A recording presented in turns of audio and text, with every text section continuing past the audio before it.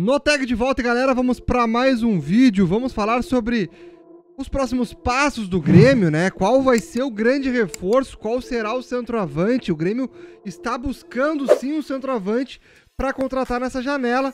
E a gente tem que falar o que está acontecendo nos bastidores sobre isso. Qual o nome mais próximo do Grêmio contratar? Galera, também quero dar um super recado aí para vocês. O nosso novo patrocinador, Cena Sportbet. Então eu peço o apoio de todo mundo. Se cadastrem lá na Cena. Cena Sportbet. O link está aqui no comentário fixado. Tu indo lá, te cadastrando. E se tu fizer um depósito de qualquer valor, vai dobrar o valor que tu depositar. Vai ganhar um super bônus de 100%. Então, vai lá, irmão. Link está aí no comentário fixado. Vai lá na Cena Sportbet e tu não vai te arrepender e tu vai ajudar o Noteg aqui nessa nova parceria que fechamos. Tamo junto?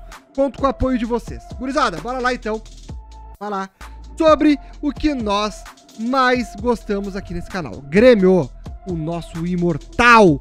Como está a situação das contratações? O que, que o Grêmio busca? Então, a última informação que temos é o de Pedro Raul.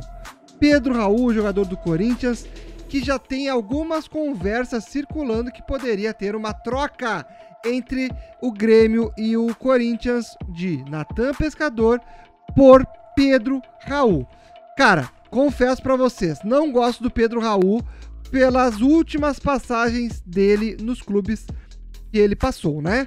Nos últimos dois anos aí ele não foi tão bem. Porém, uma troca dele do, do Pedro Raul pelo Natan Pescador, eu fecho na hora. Eu fecho na hora. Porque essa contratação, tendo por troca, é uma grande notícia para nós gremistas. Tá, mas no tag, vamos lá. Tem outros centroavantes no ataque. Eu não acredito que o Grêmio vá contratar apenas um. Pode ser que venha até dois centroavantes. Essa é a informação. Um pela troca e ainda pode vir um que o Grêmio possa fazer algum outro tipo de negócio. Empréstimo, contratação mesmo, compra ou até uma outra troca. O que eu não acho que possa acontecer. Eu acredito que vai ser uma troca. Pode ter o Pedro Raul sendo envolvido com o Natan Pescador. E o Grêmio vai atrás de mais um. Lembrando que Daverson ainda não se decidiu para qual clube vai, não tem ainda a, a, o desfecho e é um jogador também que está sendo avaliado. Cara, vamos lá. Temos hoje JP Galvão para substituir Diego Costa.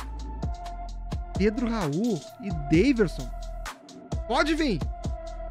Pode vir. Hoje eu aceito os dois de braços abertos. Vem, vem no nosso imortal porque não dá mais pra gente ficar com o jogador do nível de JP Galvão. Desculpa, desculpa, eu sei que tem gente que tem gente que vai me ah, vai, vai me criticar porque ah, mas pô, Noteg, Pedro Raul não dá. Ah, mas o o Davidson também não dá. Cara, não tem muita opção, gurizada. Não tem muita opção. E o Grêmio não tem muito dinheiro. Então, se é para trazer, e traga alguém que a gente pelo menos saiba que é melhor que o JP Galvão. Um grande craque, a gente não tem informação de que vai vir. A não ser que investidor entre na jogada. Então, o Grêmio, de fato, não vai bancar um super craque, tá? Gabigol! Gabigol, não sabemos o seu futuro também. É muito caro. O Renato quer, mas é muito caro. O problema do Gabigol é o dinheiro. Muito dinheiro. Mas é isso sobre centroavante, temos alguns nomes que estão aí no mercado, que o Grêmio está buscando, e o mais indicado, o que está mais próximo que a gente está vendo, é o de Pedro Raul. O que vocês acham? O Grêmio acerta ou não? Colocando Pedro Raul no seu time. Comenta aí embaixo, quero saber aí a tua opinião. Tamo junto, te cadastra lá, Cena Sportbet.